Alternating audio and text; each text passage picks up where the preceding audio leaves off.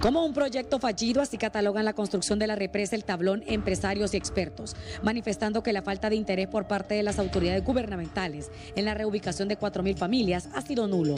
Osmin Bautista manifestó, ya basta de estudios y estudios, el Valle de Sula se está empobreciendo.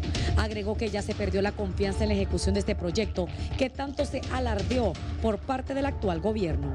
No puede ser que el gobierno siga haciendo más y más estudios cuando ya estamos hasta la coronilla de que la solución es la construcción de represas.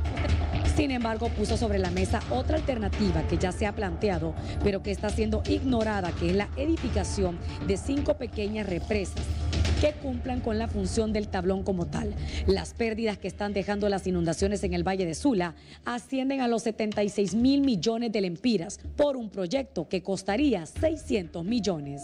Estuvimos hablando con uno de los diseñadores que es muy capaz y muy experto en, esa, en ese tema y mencionaba de que para poder evitar esa reubicación y relocalización de esas 4.000 familias pudiera entonces construirse estratégicamente cinco pequeñas represas que en la sumatoria vendrían a dar el mismo efecto y resultado de lo que es la construcción en donde está previsto la represa del tablón.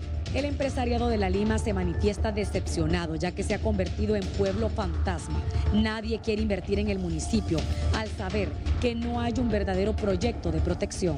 Pero cuando empiezan a ver eh, la vulnerabilidad que tienen en el tema de la inversión que van a hacer con el riesgo de inundaciones, eso los detiene y nosotros necesitamos que haya esas protecciones para que podamos ver ese desarrollo básicamente. Mientras tanto, los líderes del sector económico de Chamelecón reaccionan preocupados y piden a las autoridades dejar de calentar asientos, dar la cara por un proyecto que representa la economía de un país, pero que al parecer intereses oscuros lo detienen. Que demuestren realmente la voluntad política de, de una vez por todas, darle una solución al tema de inundaciones en el Valle de Sula. Eh, recuerdo que el año 2022, mientras se realizaba una reunión en, el, en la Cámara de Comercio e Industria de Corte, la, presidencia, la presidenta lanzó su famoso tweet que ordenaba que se construyeran la represa. Llevamos ya casi dos años de ese famoso tweet y no se ha hecho absolutamente nada. Según el ingeniero Osmin Bautista, el dinero para la ejecución de estos proyectos está disponible, pero son las autoridades quienes no se sabe por qué lo han congelado. Para HCH, la información de acompañada por Oscar El Bolita Perdomo en cámaras y edición.